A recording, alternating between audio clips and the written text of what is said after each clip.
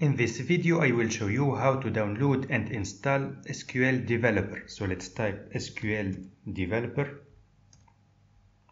Now let's go to this first link. Now here let's click on this SQL Developer button. Now here let's scroll down and I will download the SQL Developer for Windows which includes the JDK.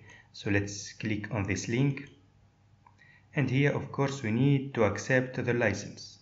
Now let's click on the download button. In this window we need to log in so if you don't have an account you can create an account for free but in my case I have already an account so I will use it to log in and now I can save this zip file on my computer but in my case I have already downloaded it so I will cancel this download and I will use the zip file that I have downloaded which is this one. So let's extract it.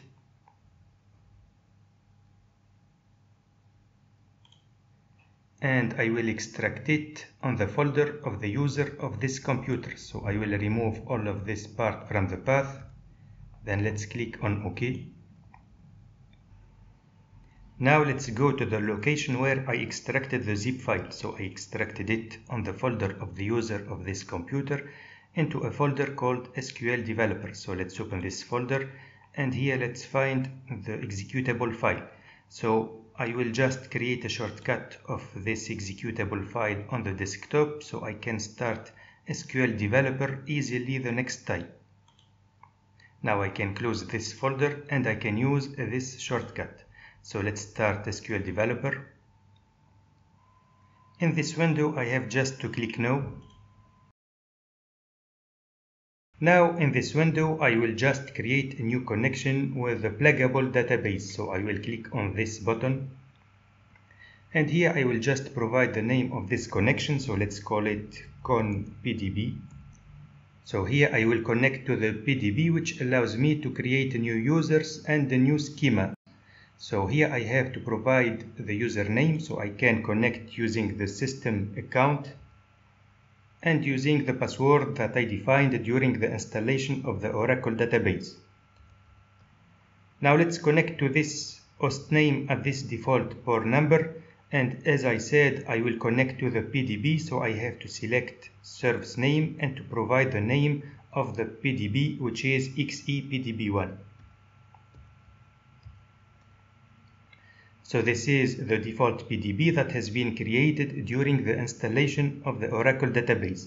Now let's click on test to test this connection. And as you can see, the connection is successful. So let's connect. Now this connection has been created. So if I expand it and if I scroll down, I can find here other users. So this node contains the available users and their schema. So here we can find this user that I created using SQL+. Now we can create a new user using this window. So I will just type the following statement. So this statement allows me to create this user called webshop which has this password. So when I create this new user, a new schema will be created for this user. So let's click on this button to execute this statement and the new user has been created. Now let's remove this statement and let's add the privileges to this new user using the following statement. Now let's execute this statement always using this button. And now the privileges has been attributed to our user. Now we should find this user into this list. So let's scroll down. But here we cannot find it. So we have just to refresh this list. So we have just to scroll up and here we have to make a right click, then refresh.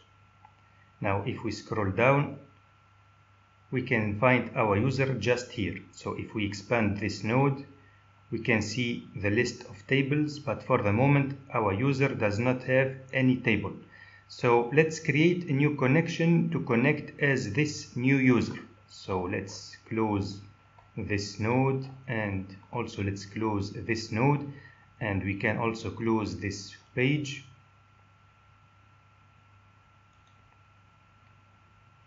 And let's create the new connection. So here I will call it con webshop. So let's provide the username which is webshop and let's provide the password which is password also we will connect at this host name and this default port number but we will connect to the PDB so uh, we have to select service name and here XEPDB1 now let's test this connection and the connection is successful. Now let's connect. So this new connection has been created and as I said we don't have any table for the moment. So let's create a new table so to create a new table we have two options. We can either write the statement here and run it. So let's do this. So here I will create a new table called clients with these columns. So I will just click on this button to create the table. And as you can see the table has been created. So we can find it here but it is not listed. So we have just to refresh this node. So let's click on refresh and now as you can see this table is now available here. Now to add a new row into this table we can always use the first method and we can write a statement just here. So let's write the following statement. So this statement allows me to add a new row into this table clients. So let's run it. Now the row has been inserted. So we can just click on this table to see its data and now let's click on data now as you can see this is the line that I inserted. Now the second method to add a new table is just to make a right click on this node and to click on new table. Now in this window I have to provide the table name so let's call it messages. And let's add the columns. So for the first column I want to call it ID it will be a number and it should be a primary key. Now to make this ID auto incremental I have just to click on advanced and then I have to click on identity column and here for the type I have to select column sequence. Now let's create a new column so let's click on this button and for this column I will just call it message. Now for the data type, let's accept varchar2 and for the size, let's select the following value. Now let's create a new column, so let's click on this button and for this column, I will just call it username. So it is a varchar and for the size, I will just modify it and it should not be null. Also, I will add another column it's called email. So it is a varchar2 and for the size I will increase the size and of course it should not be null. Now let's click on the OK button. And the table has been created. So to add a new row into this table we can go to data and we can click on this button insert row so I will not modify the ID because it is auto incremental, but I will modify the message. So let's type hello Oracle database. Also, I will modify the username. So let's type boost my tool. And I will modify the email. So let's type any email. It is also possible to click on this button to show a window that allows us to write the text, so I will complete the value of the email address. Now let's click on OK.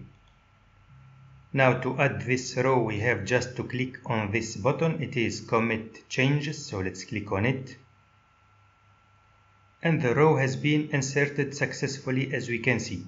Now let's click on data to see the available rows and this is the row that I have added.